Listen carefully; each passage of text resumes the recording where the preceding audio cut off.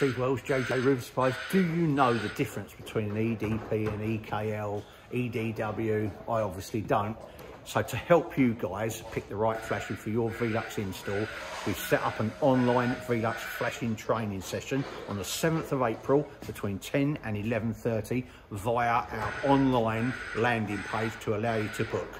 So not only do we want to sell your Velux, we want to help you install the product right first time with the expert knowledge given to you by Velux.